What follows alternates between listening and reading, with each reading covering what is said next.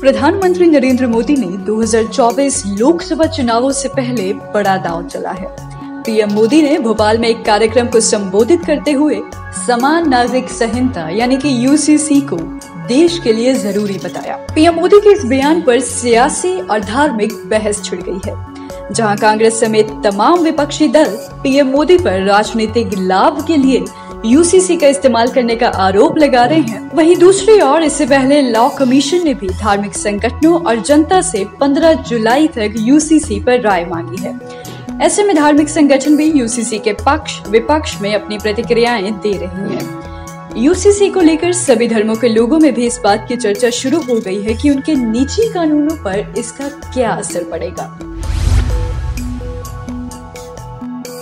Uniform civil code, यानी कि UCC का मतलब है, भारत में रहने वाले हर नागरिक के लिए एक समान कानून होना, चाहे वे किसी भी धर्म या जाति का क्यों ना हो। यानी हर धर्म, जाति, लिंग के लिए एक जैसा कानून। अगर सिविल कोड लागू होता है तो विवाह, तलाक, बच्चा गोद लेना और संपत्ति के बंटवारे जैसे विषयों में भी सभी नागरिकों के लिए एक जैसे नियम होंगे। समान नागरिक संहिता भारत के संविधान के अनुच्छेद 44 का हिस्सा है। संविधान में इसे नीति निदेशक तत्व में शामिल किया गया है। संविधान के अनुच्छेद 44 में कहा गया है कि सभी नागरिकों के लिए समान नागरिक संहिता लागू करना सरकार का दायित्व है। भारत में अलग अलग धर्मों के अपने अपने कानून हैं, जैसे हिंदुओं के लिए हिंदू पर्सनल लॉ, मुस्लिमों के लिए मुस्लिम पर्सनल लॉ। ऐसे में यूसीसी का उद्देश्य इन व्यक्तिगत कानूनों को खत्म करके एक सामान्य कानून को लाना है। आइए जानते हैं कि यूसीसी अगर लागू होता है तो किस धर्म पर क्या प्रभाव पड़ेगा?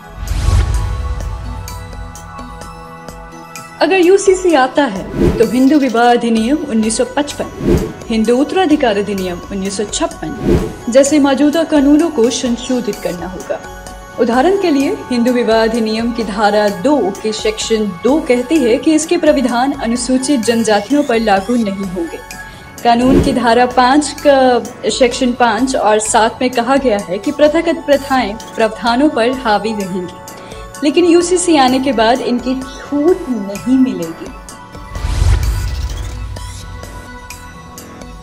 Muslim personal Shariat application act उन्नीस सौ सैंतीस में कहा गया है कि शरीयत या इस्लामी कानून के तहत शादी, तलाक और भरण पोषण लागू होगा। लेकिन अगर यूसीसी आता है तो शरीयत कानून के तहत तय विवाह की न्यूनतम उम्र बदल जाएगी और बहुविवाह जैसी प्रथाएँ खत्म हो जाएँगी। सिखों के शादी संबंधित कानून 1909 के आनंद विवाह अधिनियम के अंतर्गत आते हैं। हालाँकि इसमें तलाक का कोई प्रावधान नहीं है, ऐसे में तलाक के लिए उन पर हिंदू विवाह अधिनियम लागू होता है। लेकिन अगर यूसीसी आता है तो एक सामान्य कानून सभी समुदायों पर लागू होने की संभावना है। ऐसे में आनंद विवाह अधिनियम भी खत्म हो सकता है। पारसी विवाह और तलाक अधिनियम 1936 में प्रावधान है कि जो भी महिला किसी अन्य धर्म के व्यक्ति से शादी करती है तो वह पारसी रीति रिवाजों और रीति रिवाजों के सभी अधिकार खो देगी। लेकिन यूसीसी आने पर यह प्रावधान समाप्त हो जाएगा। इसके अलावा पारसी धर्म में गोद ली हुई बेटियों को अधिकार नहीं दिए जाते, जबकि गोद लिया गया बेटा सिर्फ़ पिता का अंतिम संस्कार कर सकता है।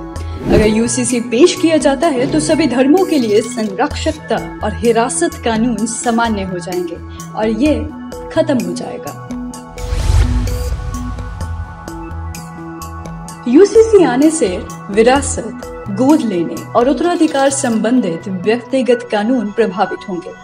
ईसाई तलाक अधिनियम अठारह सौ उनहत्तर की धारा 10 ए 1 के तहत आपसी सहमति से तलाक के लिए आवेदन देने से पहले पति पत्नी को कम से कम दो साल तक अलग रहना अनिवार्य है। लेकिन यूसीसी आने के बाद ये खत्म हो जाएगा। इतना ही नहीं 1925 का उत्तराधिकार अधिनियम ईसाई माताओं को उनके मृत बच्चों की संपत्ति में कोई अधिकार नहीं देता है। ऐसी सारी संपत्ति पिता को विरासत में मिलती है। यूसीसी आने पर यह प्रावधान भी खत्म हो जाएगा। आदिवासी समाज परंपराओं, प्रथाओं के आधार पर चलता है। ऐसे में यूसीसी आने से उनके सभी प्रथागत कानून खत्म हो जाएँगे। सीएनटी यानी कि Chota Nagpur tenancy act, Santhal Pargana tenancy act SPT act, PESA act के तहत आदिवासियों को झारखंड में ज़मीन को लेकर विशेष अधिकार हैं। यूसीसी के लागू होने से ये सभी अधिकार खत्म हो जाएँगे। यूसीसी के लागू होने से पूरे देश में विवाह, तलाक, विभाजन, गोद लेने, विरासत और उत्तराधिकार एक समान हो जाएगा। ऐसे में महिलाओं को संपत्ति का समान अधिकार मिल जाएगा। ऐसे में अगर कोई गैर आदिवासी, एक आदिवासी महिला से शादी करता है तो उसकी अगली पीढ़ी की महिला को ज़मीन का अधिकार मिलेगा। इसी तरह की तमाम जानकारी के लिए जुड़े रहिए अर्थ प्रकाश टीवी के साथ। शुक्रिया। ताज़ा अपडेट्स व बड़ी खबरों के लिए सब्सक्राइब करें आज प्रकाश टीवी और बेल आइकन दबाना न भूलें।